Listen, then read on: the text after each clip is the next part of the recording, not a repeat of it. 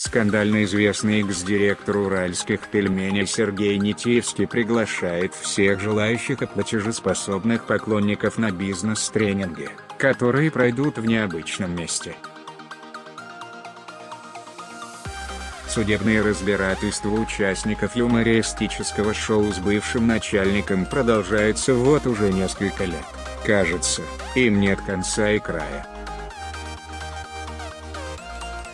Коллектив юмористов обвиняет Митиевского в присвоении гонораров, а он, в свою очередь, считает, что бывшие подопечные перешли границы из-за звездности и жажды денег.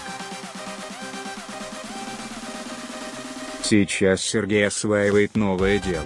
Он собирается поделиться своими секретами ведения успешного бизнеса со всеми желающими. Нитиевский пригласил потенциальных участников на Сейшелы, где обещает совместить приятное с полезным, путешествие на шикарных яхтах с мастер-классами по бизнесу.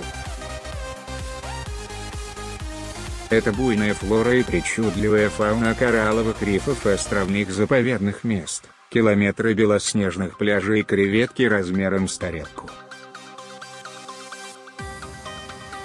Это команда людей, объединенная духом свободы, сладко заманивает клиентов изгнанный из общей кастрюли уральский пельмень в своем инстаграм.